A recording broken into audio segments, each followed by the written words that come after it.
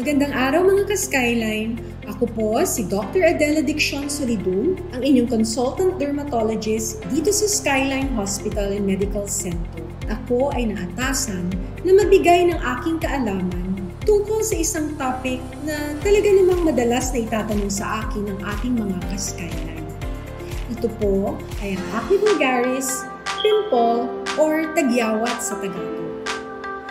Ano po ba ang acne vulgaris? Ito ay ang inflammation or pamamaga ng ating pilosebaceous unit o ang parte ng ating balat kung saan pinoproduce or sinisecrete ang ating sebum or oil o ang mantika ng ating balat. Ito ay karaniwang tumutubo sa ating mukha, dibdib, likod at balikat. At common ito sa mga batang edad 10 hanggang 11 na taong gulang Ngunit meron din po tayong tinatawag na adult onset acne kung saan ito ay makikita sa mga pasyenteng edad 30 pataas. So ano po ba ang mga risk factors o bakit may mga taong sadyang lapitin ng acne?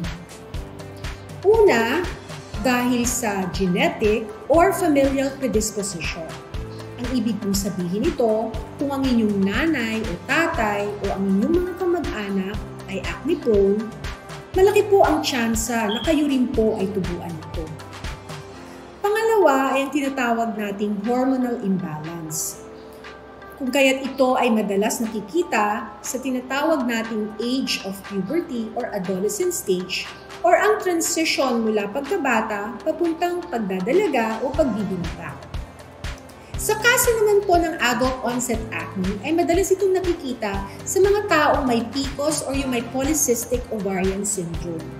At kung kayo rin ay mahilig magpuyat, ay magkakaroon din po tayo ng hormonal imbalance. At hindi lang po yun. Tataas pa ating stress hormones na tinatawag natin cortisol, kung kaya't lalong nangangalit ang ating acne. Ang pangatlo ay ang cosmetics na ginagamit natin sa pang-araw-araw katulad ng makeups, shampoos, and hair gels na nagkukos pa lalo ng clogging o pagbabara ng ating skin pores. Meron po tayong dalawang uri ng acne. Ang una ay ang non-inflammatory acne or acne precursors o yung mga acne na hindi pa po namamaga.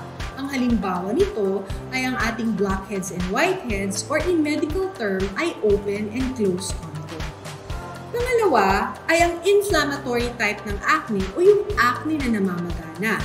Ito ay makikita ng mga butlig na mapula, masakit, nagnanana, at minsan nagde-develop into nodules at saka cyst. Upang mas maintindihan po natin kung paano nagsisimula ang acne, ay hayaan yung ibahagi ko ang simpleng anatomy ng ating balat. Imagine nyo po, ito ang surface ng ating balat hinati po natin siya crosswise upang makita natin ang different layers nito. Ang unang layer ng skin ay tinatawag nating epidermis, sunod ay ang dermis, at ang huli ay ang subcutaneous fat. Ang pimple or acne ay nagsisimula sa tinatawag nating pilosebaceous unit. Pilo, ibig sabihin ay buhok, sebaceous ay ang sebaceous gland. Ang dulo po nito ay ang tinatawag nating follicular opening or skin pores. Bawat isang skin pore ay isang pilosebaceous unit. Meron po tayong mga karakteristik ng ating balat na kailangan nating malaman.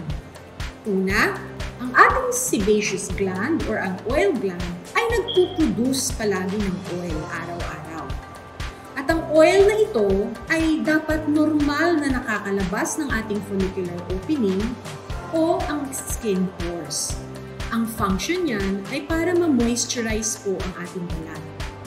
Pangalawa, ang parte lang po ng ating balat na pwede nating makorek dahil may capacity sila to regenerate ay ang epidermis. Dahil every 27 to 48 days, Ang cells dito sa ilalim ng epidermis na tinatawag nating basal cells ay nagdi-divide, nag-grow, nagmamature o tumatanda at eventually sila po ay nagiging dead cell or patay na balat.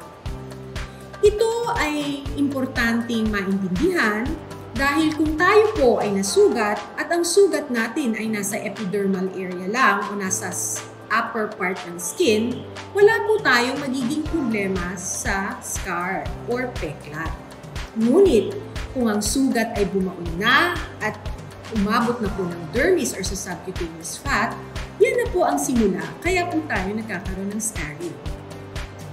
Ito ay importanteng malaman dahil lagi po na ako natatanong ng mga pasyente, Doktora, ako po ay maraming pimples. Ako po ba ay magkakapeklat?